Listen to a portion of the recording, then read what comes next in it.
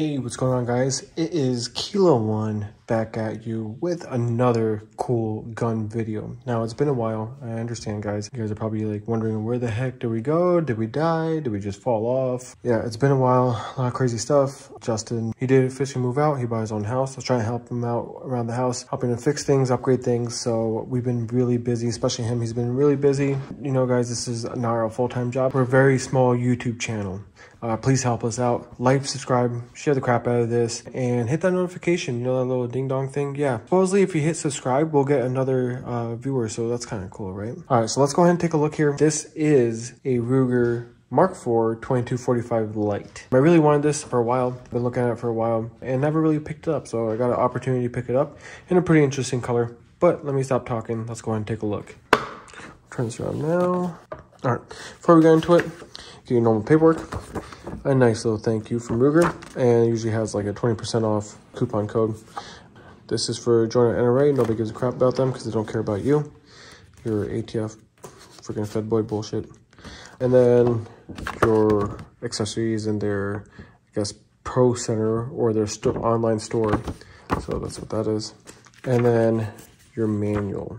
Guys, I really recommend reading you guys a manual. You probably, you guys probably already know a lot, probably more than me about this firearm, but always recommend to just to skim through it. Maybe learn something that you didn't know. Toss that. All right. So cool thing is, I have this crappy little red dot that I found laying around. Didn't really put it on yet, but yeah, uh, that's invalid anyways. Um, so this is the Ruger Mark IV for 2245 light, empty. You can tell, like anybody cares. Not gonna shoot you by accident, right? All right. Now, this is absolutely amazing. This is super light. I mean, this is a handy gun. Um, if you can go backpacking, plinking, shooting around, having the kids shoot, it is super accurate uh, as what I've heard. We're going to be doing a shooting test and review here soon, very, very soon on this firearm. Take a look at some of this uh, superficial features or features outside and we'll take a look at what went into this amazing little Plinker 22 or a Varmint 22, whichever one you like. So it is threaded, half by 28, I believe so. And does come with the thread protector and a crush washer, as you can tell. It does come with lightning cuts on both sides. It looks like it's tapered a little bit. Uh, has a little nice, nice little finish on it. So it's tapered. Um, it does come out with uh, black outside, so black out front and black out rear.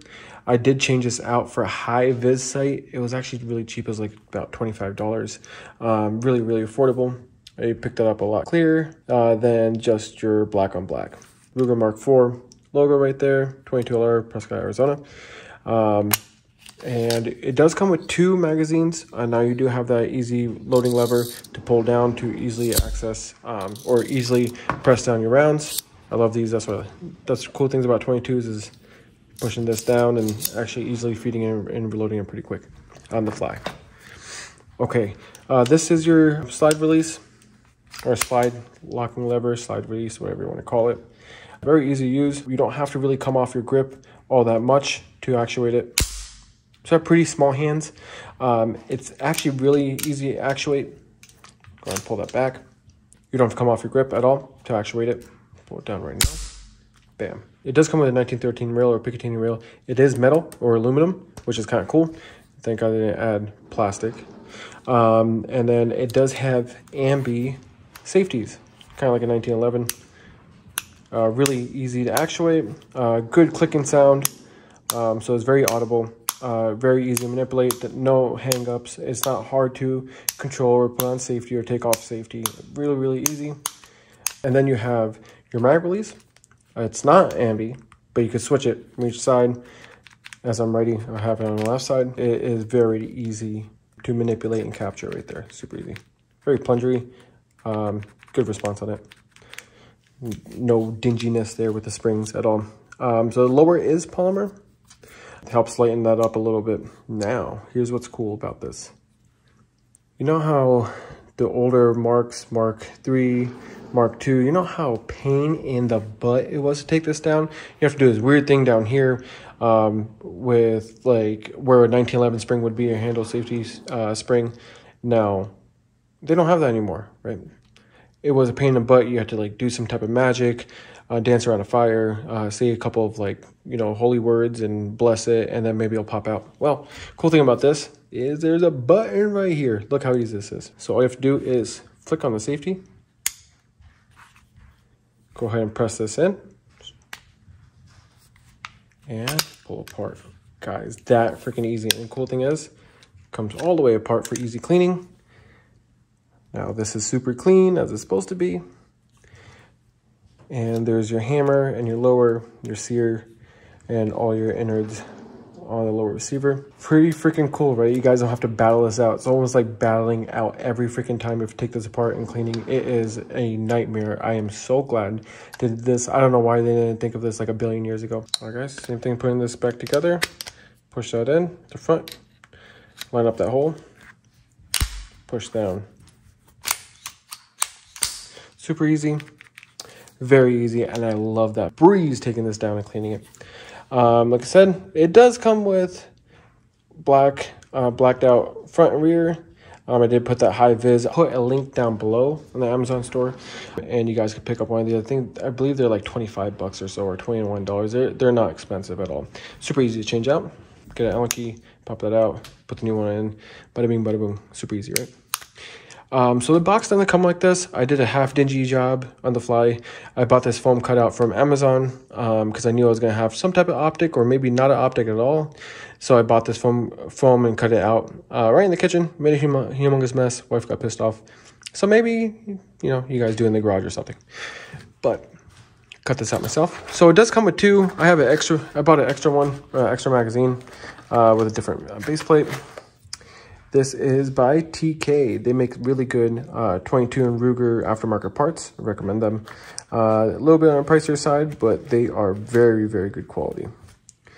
Now, the only gripe that I have about this gun, okay, is sometimes it doesn't feed. It doesn't like feeding. Um, it, it will hang up. Uh, it feels like the rounds are loose or they pivot upwards or don't even pivot at all and they'll be stuck downwards. It's, it, it's really weird. I'm not sure if you guys have a fix to that any type of answer, please let me know in the comments down below. I would really appreciate it. Let's go ahead and get into the specs. Pretty cool, right? Uh, I bought this for about $500, I believe. Five bills for this. All right, let's go ahead and take a look into technical stuff, which everybody loves, right? Is the magazine coming in a 10 plus 1 capacity. Um, and the, uh, the so the receiver material is aluminum, right? It's a 22. You don't need anything crazy type of alloys or steel. It's just aluminum. Cuts down the weight too, which is great. Uh, the barrel length from the chamber is 4.40 inches. Uh, lower, like I said, plastic is polymer. Checker 1911 style grips. Now you can change these out for 1911 aftermarket grips, which are cool. I might change that for I don't know, maybe wood grips, maybe not. Maybe G10 grips, who knows. This one is the gold anodized finish. The width is 1.22 inches. And the rear sight is adjustable right here. You do have adjustment, flathead screwdriver on both sides, elevation, and windage. So you guys can adjust that if need be. Overall length, um, so I'm guessing from muzzle to tail, is 8.40 inches. Height from the magazine well all the way to the top. I'm guessing where the sight is, that is 5.50. Grooves 6. Twist is 1 and 16th right-handed. Um, that's kind of typical. Uh, available in California? no. Uh, available in Massachusetts? Nope. Uh, and then the suggested retail on here is six ninety nine, guys. If you could buy it for six ninety nine, I feel really bad for you guys. Uh, don't if you find it for six ninety nine, please don't buy it for that much. Cool thing we went over, just a really quick recap. Simple one button takedown for quick release and easy field strip. Proper chamber to muzzle cleaning. Pressing a button in the back, like I said, the button right here, in the back of the frame allows the barrel receiver assembly to tilt up and off the grip frame without the use of tools, right? As I showed you before, I demonstrated, very easy. I freaking love that feature. Thank you, Ruger. Thank you. Finally, Comfort Precision molded polar, polymer grip frame with serrated front strap and checkered back strap. So it is checkered. I mean, these are just lateral lines, nothing too crazy. Now, these are like uh, basically basically like pyramid checkering. Uh, aggressive, not too aggressive. If you're wearing a glove, you're not going to feel it at all. It's it, it's it's very minimal, very very minimal checkering. You're not going to feel it. Features a lightweight ventilated aerospace grade aluminum receiver and tensioned stainless steel barrel uh, barrel stainless steel, and you get the lightning cuts on the receiver. Cold hammer forged barrel results in ultra precise rifling that provides exceptional accuracy and longevity. So that's pretty cool. I did not know, but it's cold hammer forged. Uh, a lot of people do that. It's not as tedious of a process as it used to be back in the day. So um, most barrels, I should say, are cold hammer forged uh well not the crappier ones but like you know mid-tier. Ergonomic bolt stop checkered 1911 style grip panels for great uh, appearance and comfortable non-slip hold so they are rubberized guys uh, for easy hold. Internal cylindrical bolt construction ensures permanent sight to barrel alignment and high accuracy potential than conventional moving slide designs. So that is pretty freaking interesting guys. Uh, contoured ejection port and easy to grasp bolt ears allow a durable and reliable operation around, at round after round uh, accurate sight, sighting system features adjustable rear and factory installed Picatinny rail for easy mounting of optics. Guys, um, I might be uh, putting like a like a cheap burst or something on there. Who knows? Maybe I'll just keep it iron sights, but that is a very good feature and it's metal. Ambidextrous uh, manual safety can be converted to left side only with included washers. So that's what I was, guys. That was my mistake. This is for if you only want left side safety instead of ambi, you do have that option. Features a conveniently located push button magazine release on the left side of the frame. So bam, bam. Magazine drop free on release with a convenient reloading. Cool thing about this, it lunges, right?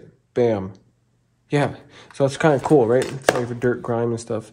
There is a little plunger right here that is spring activated right here. I can see. So it's compressed when you have the magazine locked in. And when, when you um, hit the magazine release, boom, it launches that magazine. That's kind of cool, guys. All right, magazine disconnect prevents discharge when the magazine has been removed. I could care less about that. I really don't like magazine uh, disconnects. Um, only, well, I mean, I guess it really matters on defensive pistols, something like a 20, for a 22. I mean, if you're going to use it as a 22, I mean, I'm not going to judge you, but I don't like them. Um, there's numerous reasons why I could get into, but they're, they're a nuisance and could be dangerous. Also includes two 10 round magazines. We'll be testing this out here soon, very, very soon. I'll be coming out uh, with another shooting video in about a week. In between, we're gonna do another review here, right? I just picked this bad boy up. I'm not gonna tell you much about it, but it's by Springfield. Could you guess what type of 1911 this is? If you can, put in the comments down below, but we'll be coming out full review with this bad boy. I just picked this up today. Um, so make sure you check it out. All right, guys. Well, I really hope you enjoy this review here. Uh, thank you so much. Thank you so much for hanging in there with us. I know we haven't came out with a video for a while. We've been super busy, but we'll be pumping out videos here moving forward. A gaming video, uh, maybe some couple Halloween themed goofy stuff. Uh, if you guys want another whiskey pod podcast, let us know down in the comments down below exactly what you want. We'll be doing range reviews, uh, ballistic testing, ammo testing, and other guns that we have purchased from hunting rifles, which should be coming up here soon. So we might have that next week as a new hunting rifle uh, that is budget friendly but doesn't have budget features. So we'll, we'll have that down below. We'll put it like a thumbprint or a little bit more detail uh, probably end of this week or coming up next week. But we appreciate guys. We love you. Thank you so much for staying with the Kilo One family and freedom on.